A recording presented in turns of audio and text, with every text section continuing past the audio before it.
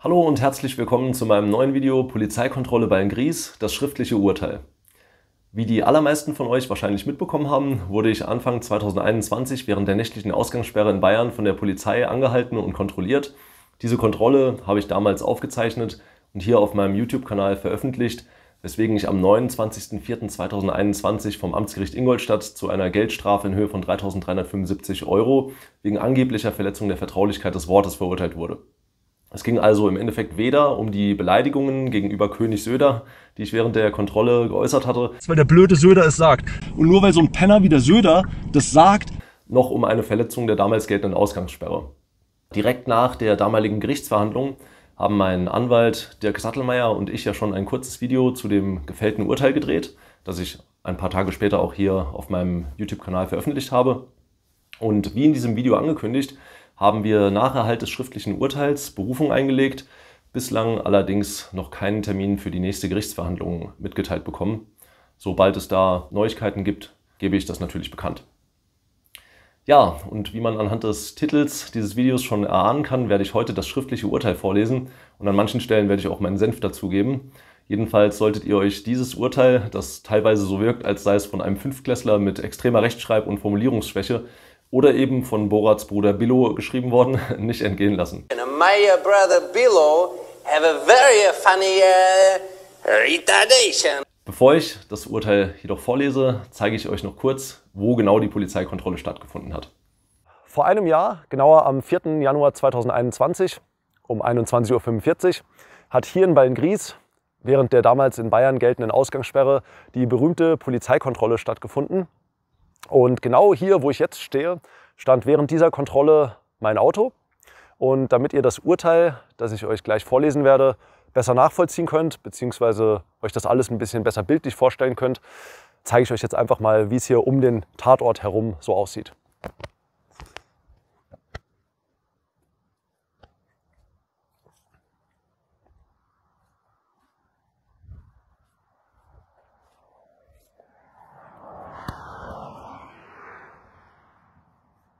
Ja, wie ihr feststellen konntet, hat die Polizeikontrolle am Rande eines Wohngebietes, also eindeutig in der sogenannten faktischen Öffentlichkeit stattgefunden. Und dass Audio- und Videoaufnahmen in der faktischen Öffentlichkeit nicht strafbar sind bzw. nicht gegen den Paragraphen 201 StGB verstoßen, ist übrigens anhand der überwiegenden Rechtsprechung der Amts- und Landgerichte entschieden worden. Und auch mein Verteidiger Dirk Sattelmeier hat in der jüngeren Vergangenheit dahingehend wieder zwei Freisprüche erwirkt. Den Paragraphen 201 StGB, um den es bei der Sache geht, den schauen wir uns jetzt auch noch kurz an und im Anschluss lese ich dann das schriftliche Urteil vor. Paragraph 201 Verletzung der Vertraulichkeit des Wortes. Satz 1 Mit Freiheitsstrafe bis zu drei Jahren oder mit Geldstrafe wird bestraft, wer unbefugt erstens das nicht öffentlich gesprochene Wort eines anderen auf einen Tonträger aufnimmt oder zweitens eine so hergestellte Aufnahme gebraucht oder einem Dritten zugänglich macht die Tat nach Satz 1 Nr. 2 ist nur strafbar, wenn die öffentliche Mitteilung geeignet ist, berechtigte Interessen eines anderen zu beeinträchtigen. Sie ist nicht rechtswidrig, wenn die öffentliche Mitteilung zur Wahrnehmung überragender öffentlicher Interessen gemacht wird. So, kommen wir nun zum schriftlichen Urteil. Warnung. Wer beim Lesen bzw. Hören extrem schlecht formulierter Texte und beim Sichten von Rechtschreibfehlern auf Fünftklässlerniveau dazu neigt, Ohren- bzw. Augenkrebs zu bekommen, sollte dieses Video jetzt beenden. Urteil in dem Strafverfahren gegen Gerloff Martin wegen Verletzung der Vertraulichkeit des Wortes aufgrund der Hauptverhandlung vom 29.04.2021. Erstens. Der Angeklagte ist schuldig der Verletzung der Vertraulichkeit des Wortes. Zweitens. Er wird daher verurteilt zu einer Geldstrafe von 75 Tagessätzen zu je 45 Euro. Drittens. Der Angeklagte trägt die Kosten des Verfahrens. Gründe. Erstens. Der Angeklagte lebt davon, Energieverträge für Firmen selbstständig zu vermitteln, wobei er angibt, ein Einkommen zwischen Euro und Euro zu haben. Seine Ehefrau arbeitet ebenfalls. Die beiden haben keine Kinder. Der Angeklagte ist nach eigenen Angaben gesund. Gelernt hat der Angeklagte Fernsprachenkorrespondent und auch angefangen, Englisch zu studieren, dieses Studium jedoch abgebrochen. Der Angeklagte ist nicht vorgeahndet. Zweitens. Am 4.01.2021 wurde der Angeklagte, der trotz Ausgangssperre ab 21 Uhr noch unterwegs war, durch die Beamten PM und PM an der Ecke Winzerstraße Eichstätter Straße in 92339 bei Gries mit seinem Fahrzeug angehalten. Das anschließende Gespräch mit den Beamten, währenddessen der Angeklagte sich zusammen mit seiner Ehefrau in seinem Pkw befand und in dem unter anderem die zum damaligen Zeitpunkt verhängten Ausgangsbeschränkungen aufgrund der Corona-Pandemie thematisiert wurde, nahm der Angeklagte ohne Einverständnis der Beamten mit seinem Smartphone auf Video auf. Das entsprechende Video lud der Angeklagte am 6.01.2021 auf der Internetplattform YouTube in seinem Kanal Martin Investigativ hoch, wo es bis zum Stand der Hauptverhandlung etwa 6 Millionen Mal aufgerufen wurde. Das stimmt nicht ganz. Laut Staatsanwältin waren es insgesamt, also auf allen Internetplattformen und Messengern, circa 6 Millionen Klicks. Auf meinem YouTube-Kanal waren es bis dato circa 1,4 Millionen Klicks. Was der Angeklagte zumindest billigend in Kauf nahm. Strafantrag wurde form- und fristgerecht gestellt. Drittens. Dieser Sachverhalt steht fest aufgrund der eigenen Einlassung des Angeklagten sowie den uneidlich einvernommenen Zeugen und und stellt sich dar wie tenoriert. Hier eine kleine Anmerkung zum besseren Verständnis. Also der Zeuge, um den es jetzt geht, ist keiner der beiden Polizisten, die mich kontrolliert hatten, sondern lediglich deren Kollege, der den Fall polizeiintern aufgenommen bzw. bearbeitet hat. Von den kontrollierenden Polizisten war nur einer als Zeuge anwesend. Was das sollte, man kann es nur vermuten. Also ich habe da eine Theorie, aber die spielt jetzt keine Rolle. Ähm, jedenfalls werden wir dafür sorgen, dass bei dem nächsten Gerichtstermin äh, beide kontrollierenden Polizisten anwesend sind und diesmal dann auch meine Frau als Zeugin. Der Angeklagte hat angegeben, in Frankfurt am Main einen Vertrag abgeschlossen zu haben und sich wegen eines Verkehrsstaus auf dem Weg nach Hause verspätet zu haben. Somit hatte er einen triftigen Grund, auch nach Beginn der Ausgangssperre unterwegs zu sein. Er hat die Polizeibeamten auch gefilmt, wobei einer der Beamten gesagt habe, dass dies nicht verboten sei. Außerdem müssen die Beamten das Smartphone im Blick gehabt haben, das gut sichtbar auf der Konsole positioniert gewesen sei. Ah, das stimmt so nicht. Ich habe zwar gesagt, dass das Handy gut sichtbar positioniert war, ich habe aber nicht gesagt, dass die äh, Polizeibeamten das Handy oder das Smartphone gesehen haben müssen. Also so habe ich das definitiv nicht formuliert. Daher ging er vom Einverständnis der Beamten aus. Ihn habe schon gewundert, dass die Beamten ihn verfolgt hätten. Sie hätten hierbei mindestens 160 km/h bis 200 km/h fahren müssen, um ihn in seinem Fahrzeug noch einzuholen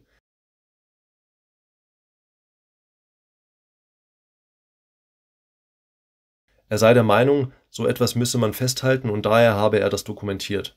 Er sei Hobbyjournalist und ihm seien Entscheidungen insbesondere aus Frankenthal bekannt, wonach Tonaufnahmen insofern auch in Ordnung seien. Er habe das Video auch hochgeladen in seinem Kanal, um die Thematik im Sinne der Rechtsprechung des Amtsgerichts Frankenthal zu dokumentieren, wobei er sich vorher schon informiert habe über die Thematik, auch juristisch. Er sehe die Verkehrskontrolle auch nicht als privat an. Ja, wie realitätsfremd muss man denn auch sein, dass man eine Polizeikontrolle als privat ansieht? Er sei lediglich vor seiner Wohnadresse aufgehalten worden.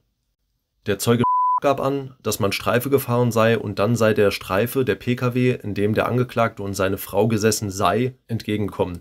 Man habe sich zu einer allgemeinen Verkehrskontrolle entschieden und den Angeklagten angehalten. Er habe den Angeklagten vorher nicht gekannt und nach dessen Papieren gefragt. Grund für die Kontrolle sei auch gewesen, dass es bereits 21.45 Uhr gewesen sei und somit während der Ausgangssperre.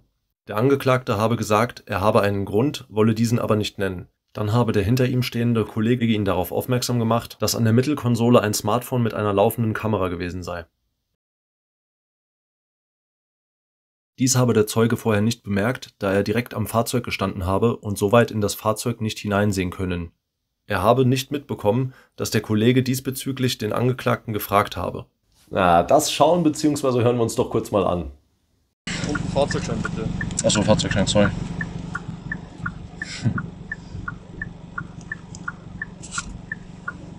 Oh, danke. Filmen Sie sich gerne, oder? Hallo? Äh, Ja. Darf ich das nicht? War nur eine Frage, oder? Unglaubwürdiger geht's wirklich nicht. Er nimmt den Kfz-Schein entgegen, sein Kollege kommt und fragt direkt danach nach Übergabe, ob ich mich gerne selber filme. Und diese lautgestellte Frage soll er nicht mitbekommen haben. Aha, klar. Das hätte zwar meine schwerhörige Urgroßmutter mitbekommen, aber er natürlich nicht, weil er hat höchstwahrscheinlich den Kfz-Schein entgegengenommen und ist weggerannt. Aber lasst uns das nochmal anschauen und achtet mal darauf, wann der äh, erste Polizist den, den Kfz-Schein entgegennimmt und wie kurz darauf der zweite Polizist die Frage stellt und in welcher Lautstärke. Oh, danke. Filmen Sie sich gerne, oder? Hallo? Der Angeklagte habe allerdings auch seine Frage auf Frage des Zeugen, ob er filmen würde, eine Handbewegung in Richtung der Konsole gemacht, wodurch der Zeuge davon ausgegangen sei, dass der Angeklagte die Kamera abgestellt habe. Aha, jetzt hat er die Frage auf einmal doch mitbekommen. Das klang ja eben noch ganz anders. Was allerdings schockierend war, ist, dass der Richter vor Gericht nicht einmal darauf eingegangen ist, dass der Polizeibeamte sich ja widersprochen hat. Das betrifft übrigens noch einen anderen Punkt, aber zu dem kommen wir später. Ähm, der Polizeibeamte konnte also sagen, was er wollte. Einmal Version A, dann Version B. Und der Richter hat das einfach ganz gelassen zur Kenntnis genommen, hat nicht einmal irgendwas gefragt oder nachgehakt oder so. Ich bin mir sicher, dass er mich gefragt hätte, ob ich auf Drogen bin oder war oder wie auch immer. Aber der Polizeibeamte wurde komplett in Ruhe gelassen. Aber auch hier in dem schriftlichen Urteil ist davon nichts zu lesen, dass es eigentlich einen Widerspruch darstellt zu dem, was vorher gesagt wurde. Er selbst habe eine Einwilligung zum Filmen nicht gegeben. Es sei auch kein Anlass mehr gewesen, da davon ausgegangen worden sei, dass eben die Kamera aus gewesen sei. Ich fasse mal kurz zusammen. Erst hat der Polizist ausgesagt, dass er die Frage bezüglich des Filmens nicht mitbekommen hat. Und dann sagt er aus, dass er nach dieser Frage, die er ja angeblich nicht mitbekommen hat, eine Handbewegung Richtung Mittelkonsole wahrgenommen hat, die er als Abschalten der Kamera interpretiert hat. Aha. Das Display selber habe der Zeuge nicht gesehen.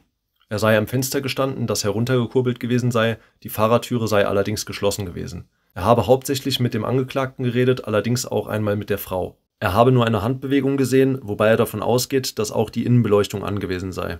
Auf konkrete Frage, ob der Kollege das Filmen genehmigt habe, antwortet der Zeuge, dass er dies nicht wahrgenommen habe.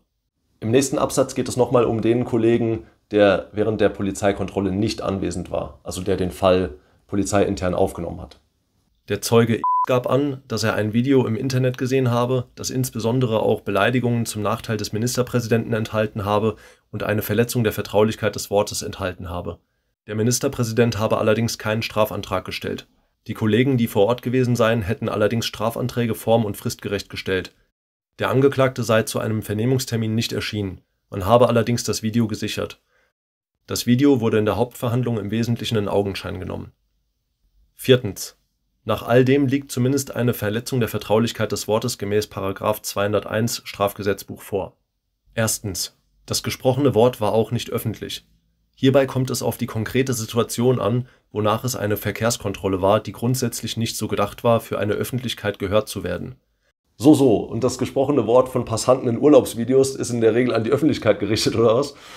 Warum darf man diese Videos denn bitte aufnehmen und hochladen? Ja, richtig, weil das gesprochene Wort in der faktischen Öffentlichkeit stattfindet und es dabei egal ist, an wen das Wort gerichtet ist. Abgesehen davon ist eine Verkehrskontrolle definitiv eine öffentliche Handlung, die von einer öffentlichen Instanz durchgeführt wird. Und das dabei stattfindende Gespräch ist dann privat oder wie? Bedeutet das also, ich darf künftig bei Polizeikontrollen sagen, äh, dass ich keine Lust habe, mich zu unterhalten und dann einfach weiterfahren, weil ich ja selbst entscheiden kann, mit wem ich ein privates Gespräch führe oder wie? Hierbei ist auch zu sehen, dass hieran nichts ändert, dass die Tat sich auf öffentlichem Gelände zugetragen hat. Zum einen ist während dieser Uhrzeit, wie im ländlichen Bereich Amts bekannt, insbesondere am Tatort wie auch in ganz Beilngries wenig los, was insbesondere Publikumsverkehr und Passanten betrifft. Also obwohl das jetzt nicht wirklich eine Rolle spielt bei der Bewertung, ob das jetzt die faktische Öffentlichkeit ist oder nicht, äh, muss ich hier einhaken, weil äh, ich wohne direkt um die Ecke und kann sehr wohl sagen, dass da häufiger Personen vorbeigehen, und das war übrigens auch der Fall, als wir die Szene draußen, die ich am Anfang dieses Videos gezeigt habe, gedreht haben. Also das ist einfach nur Schwachsinn, was da erzählt wurde. Dies umso mehr, als zum Zeitpunkt der Kontrolle durch Verordnung eine Ausgangssperre ab 21 Uhr verhängt worden ist, was den schon geringen Publikumsverkehr noch verringert hat. Zwar kann auch ein nicht öffentlich gesprochenes Wort dadurch öffentlich werden, dass es in öffentlicher Situation, etwa in einem Gasthaus, laut ausgesprochen wird, hierfür war aber an die Polizeibeamten gesprochenen Worte nicht gedacht. Diese richteten sich erkennbar nur an den Angeklagten und seine Beifahrerin. Bei Personen, die zufällig gegebenenfalls die Gelegenheit gehabt hätten, was hier aber nicht der Fall war, der Situation beizuwohnen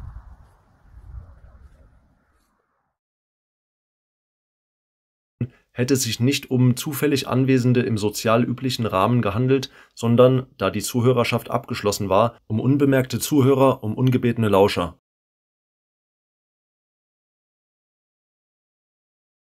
Vergleich Thomas Fischer Strafgesetzbuch § 201 Randziffer 4.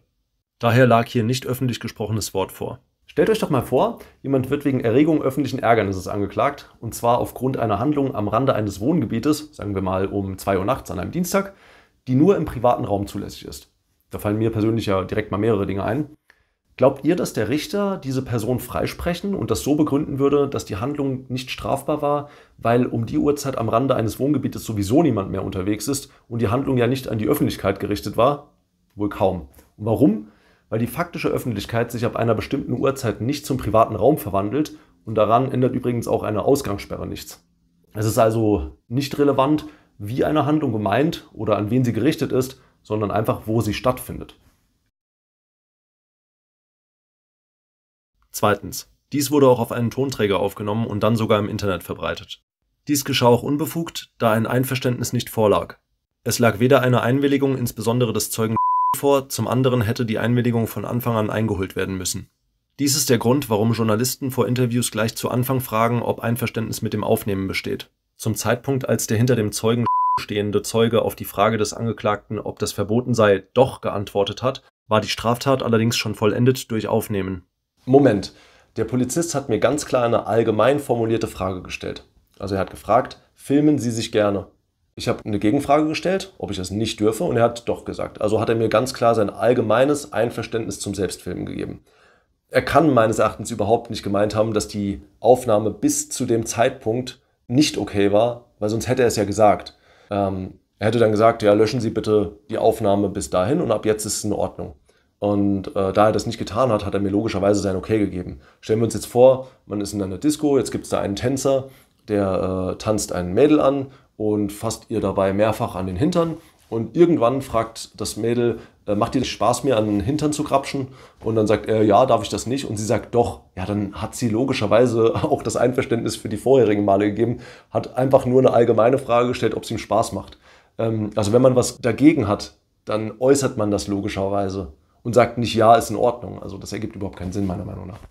Selbst wenn man allerdings rückwirkend eine Genehmigung zuließe, wurde diese ebenfalls vom vorne stehenden Zeugen nicht ausgesprochen. Ja, und wie stellt der Richter sich das bitte vor? Soll also alles, was ein Polizist sagt, vom anderen papageiartig nachgesprochen werden, damit es dann Gültigkeit erlangt oder wie? Äh, abgesehen davon hat der Polizist, der den Kfz-Schein entgegengenommen hat, ganz klar die Frage mitbekommen, wie wir eben gesehen haben. Nachvollziehbar hat der Zeuge auch gesagt, dass er das Filmen zunächst nicht beobachtet hat. Es war nachvollziehbar, dass eine direkt vor einem Fahrzeug stehende Person insbesondere die vollständige Mittelkonsole nicht im Blick hat. Nachdem der Zeuge auf das Filmen durch seinen hinter ihm stehenden Kollegen aufmerksam gemacht wurde, gab er an, die Handbewegung des Angeklagten gewesen zu sein. Natürlich ist hier gemeint, dass er meine Handbewegung gesehen hat und nicht gewesen ist. Aber ähm, wer es nicht gemerkt hat, das war schon wieder ein Widerspruch. Also das, die erste Version war, dass er die Frage des Kollegen nicht gehört hat.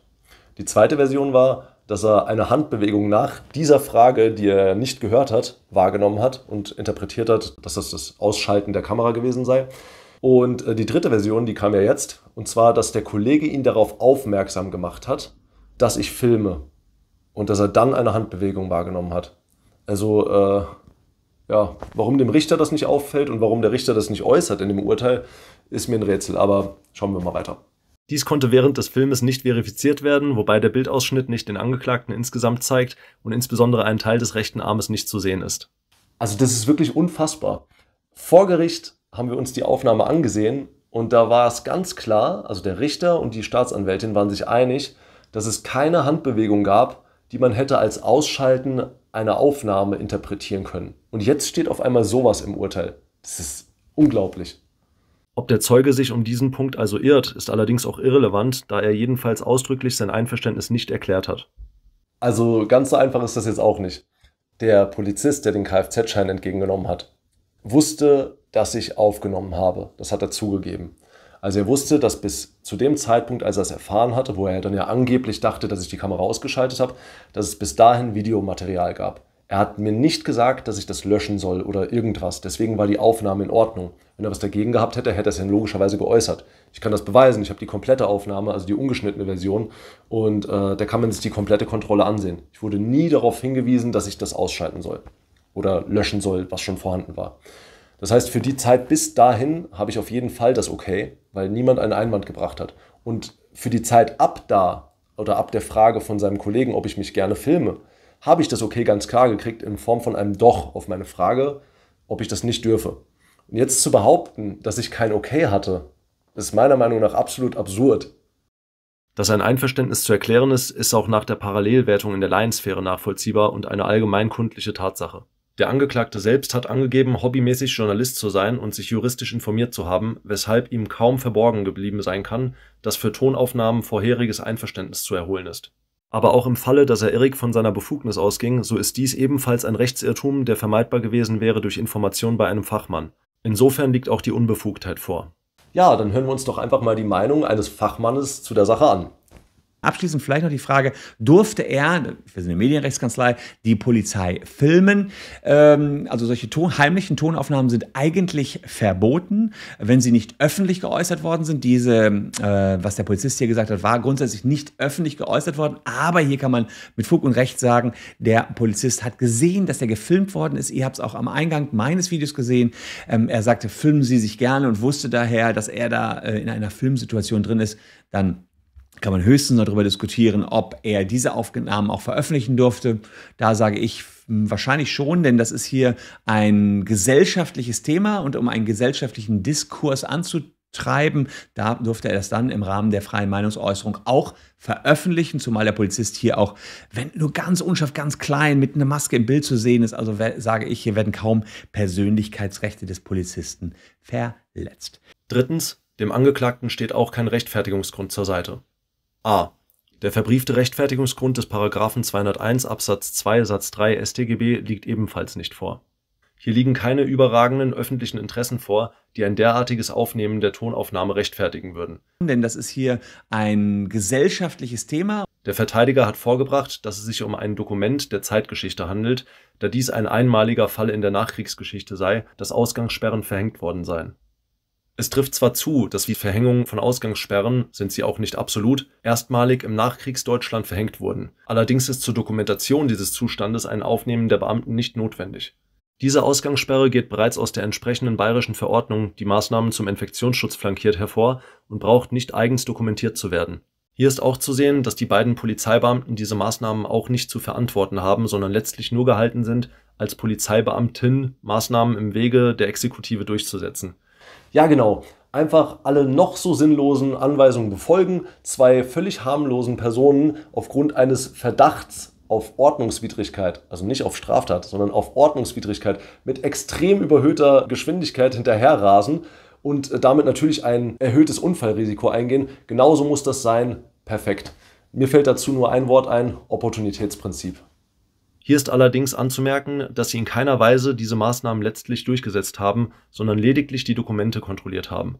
Sie haben weder die Weiterfahrt unterbunden, noch etwa den Angeklagten und seine Frau in Gewahrsam genommen, sondern schlicht kontrolliert und anschließend weiterfahren lassen.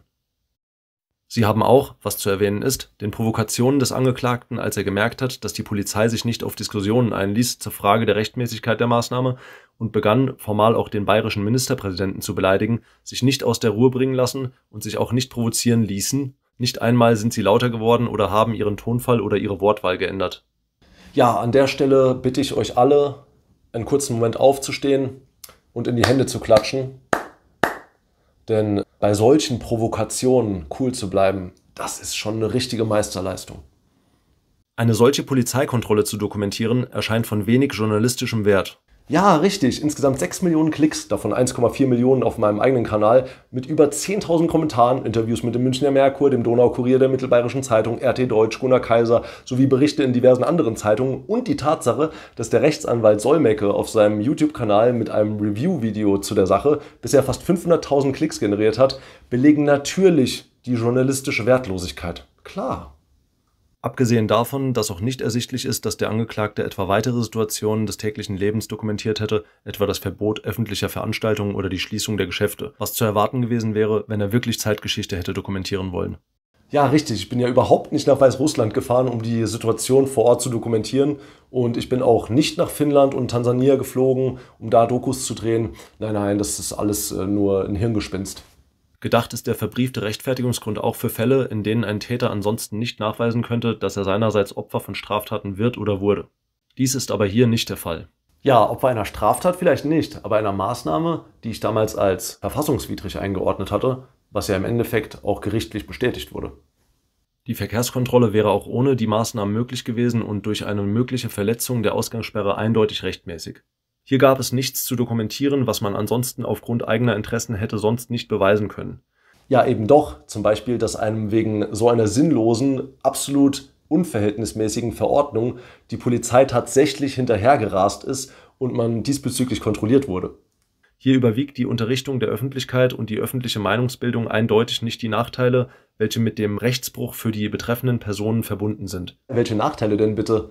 Die beiden Polizeibeamten wurden von den Maßnahmenbefürwortern doch ordentlich abgefeiert und von dem Richter, wenn ich das richtig sehe, mehrfach gelobt.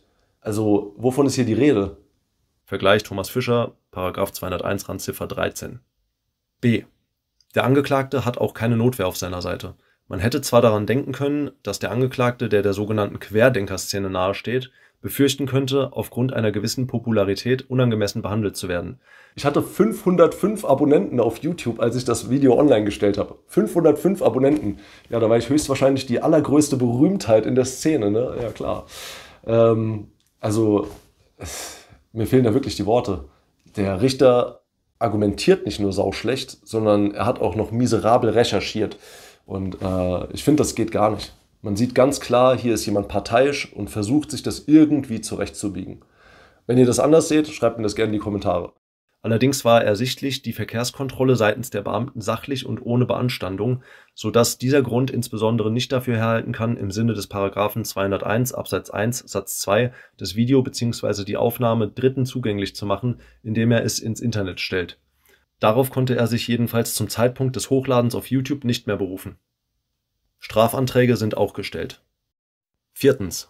Nochmal viertens. Die Tat kann gemäß 201 StGB mit Freiheitsstrafe bis zu drei Jahren oder Geldstrafe geahndet werden. Für den Angeklagten sprach, dass er nicht vorgeahndet ist und letztlich den äußeren Tatbestand objektiv und subjektiv eingeräumt hat. Gegen den Angeklagten sprechen erhebliche generalpräventive Erwägungen, insbesondere diesbezüglich, dass er das Video ins Netz und daher die Polizeibeamten noch gewissermaßen an den digitalen Pranger gestellt hat. Ein solches Verhalten gilt es zu unterbinden, auch zum Schutz der Polizei. Inwiefern hat das jetzt einen digitalen Pranger ausgemacht? Zumal ja das offizielle Narrativ ist, dass die allermeisten Menschen diese Maßnahmen befürwortet haben. Also ich sehe da keine Logik. Dennoch war eine Geldstrafe noch angezeigt, wobei eine solche von 75 Tagessätzen Schuld und Tat angemessen war. Die Tagessatzhöhe war angesichts der Einkommensverhältnisse auf 45 Euro festzusetzen, wobei auch noch Werbungskosten zugunsten des Angeklagten berücksichtigt wurden. So, was kommt nach viertens bzw. fünftens? Genau. Neuntens. Als Verurteilter trägt der Angeklagte auch die Kosten des Verfahrens. Ja, zu dem Urteil an sich braucht man, glaube ich, nicht mehr viel zu sagen. Das Armutszeugnis spricht wohl für sich. Ich hoffe einfach nur, dass ich in der nächsten Instanz etwas mehr Glück habe und einen Richter zugeteilt bekomme, der in der Lage ist, sich neutral zu positionieren und einen Sinn für Gerechtigkeit und Verhältnismäßigkeit hat. Ich halte euch auf jeden Fall auf dem Laufenden was die weitere Entwicklung angeht und bedanke mich fürs Zuschauen und sage bis zum nächsten Mal.